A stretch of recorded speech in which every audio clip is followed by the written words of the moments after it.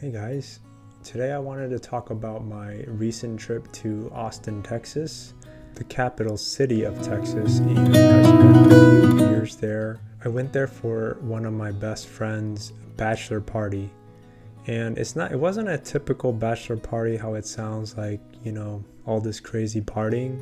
It was more like a honestly like a gathering like old times because we all used to hang out all the time and he now lives in Philly, so it was just a good chance for all of us to catch up, and honestly, it was a lot of fun.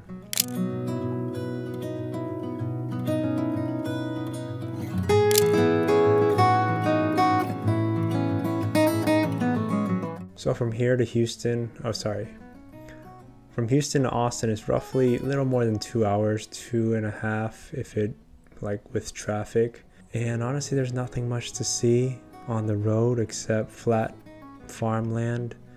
And I used to really enjoy making this drive. It's just very peaceful. I get a lot of time to myself just to listen to music, listen to some podcasts. I drove with some friends and it was a quick breeze. So for this trip, we really wanted to hit the lake up. So we did grab an Airbnb that fit like seven of us on the lake and it was perfect. We the first day we got there, we played some pool. We we didn't hit the lake the first day because it was kind of um, later in the day, but we did enjoy the amenities that this place had. It had like a pool table, um, some cornhole, and yeah, we kind of just caught up, drank some brews, and it was honestly like old times. I miss.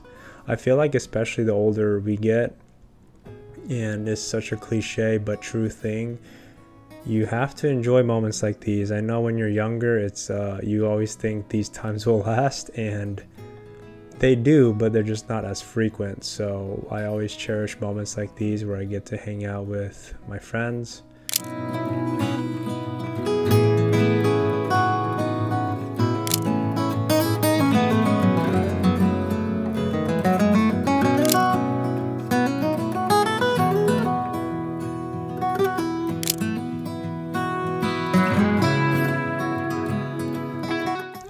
That kind of brings me to why I I think the core purpose of why I love taking photos is at the end of the day that's all we have pictures memories and that's like a big big part of why I enjoy taking photos.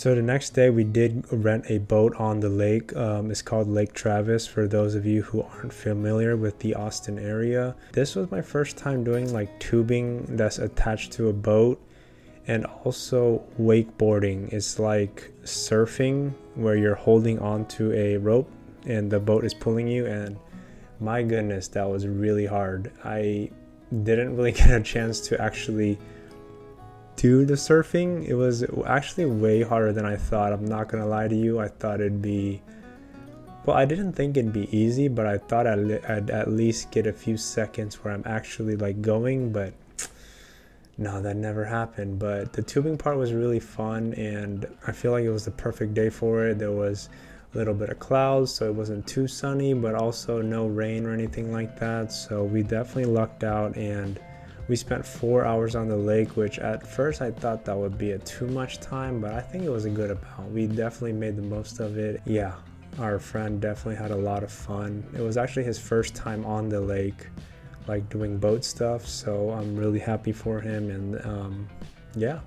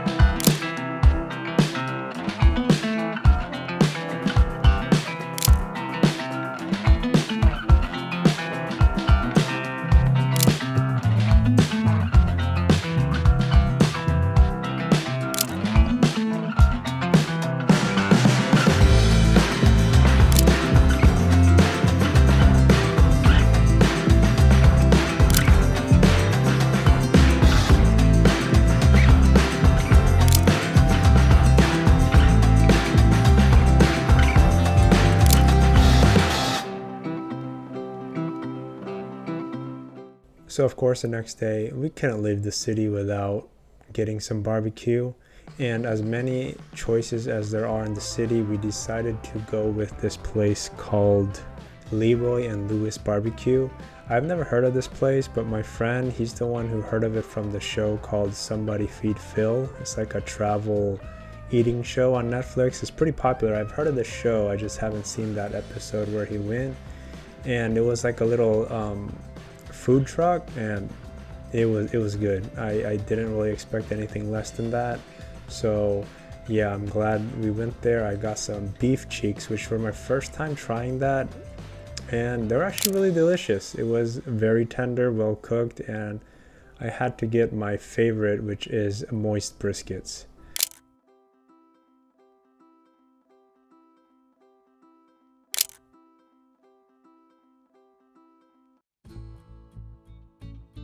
So today I kind of wanted to do like a, a, vlog style video, but more so like a photo log, kind of just explaining my trip, just kind of the the fun I had in Austin.